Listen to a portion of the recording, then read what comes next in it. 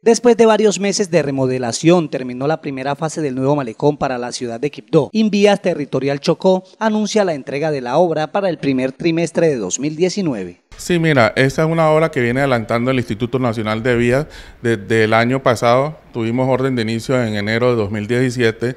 Eh, los trabajos marchan a buen ritmo, ya podemos eh, mostrar un avance del 80% en cuanto a obra física se refiere. Tenemos un poco de dificultades en cuanto al, sitio de embarcadero porque los niveles de riba trato no nos han dejado trabajar de forma adecuada.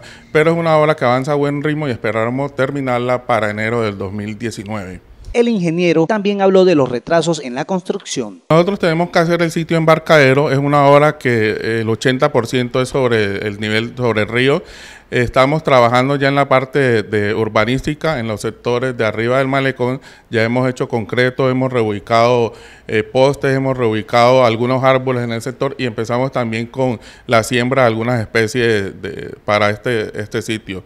También es, es eh, importante aclarar que eh, la obra inicialmente estaba contratada para hacer todo el malecón debido a, problemas que se presentaron en cuanto a, al despeje del, sitio. Tuvimos que pasar la obra eh, en la primera etapa en el sector que estamos viendo construido. Llevamos cerca de unos 280 metros de viga cabezal.